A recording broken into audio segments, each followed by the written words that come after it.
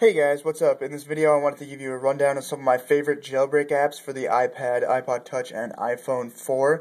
Um, these jailbreak apps are all through Cydia, which is the jailbreak um, for all of these devices. If you want to know how to jailbreak, go ahead and click my video right there in the annotation.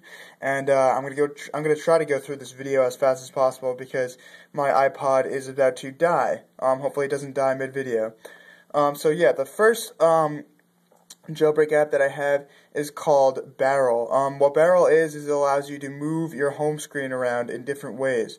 Um, so I'll go ahead and open up settings here.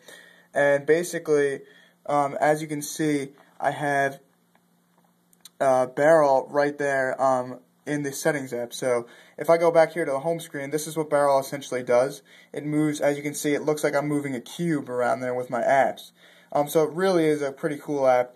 Um, and you can you can make it move many different ways. Um, you can make it move and roll away. You can do an outer cube, but it is very cool. Um, the next app that I want to review for you guys is called Graviboard. Um, basically, what Graviboard is is if you hold down the home button, all of your apps go wherever your accelerometer is going. So as you can see, if I hold it down like that or sideways, they all move with the accelerometer, um, and you can actually move them around by holding and dragging them, which is very cool. It's kind of like a cool tweak that you can actually show your friends and be like, oh, look at my iPod, it's all messed up. And they'll be like, what? And then if you hit the home button, they all go back into place, which is very cool, I think.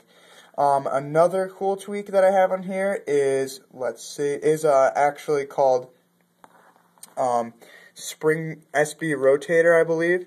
Um, I have it locked in portrait if I unlock it here, I have made my iPod and iPhone like the iPad. The iPad actually already has this, but if I turn it sideways, as you can see, it rotated. Um, so it makes the iPod and the iPhone similar to the iPad. You can rotate it sideways and launch apps in landscape, which is very, very uh, helpful, I think. Um, at least for me. Let's see, what other apps do I have on here? Um, other than that, guys, I have um, other than that, that's pretty much it. Um, all those all those are simply tweaks for the device.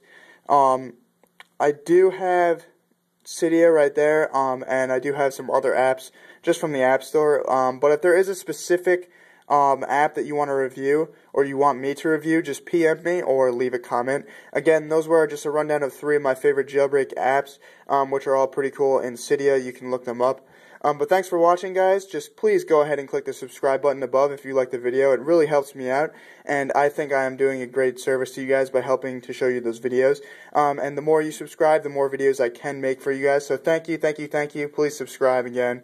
Um, and be sure to rate thumbs up for me. That really helps me out.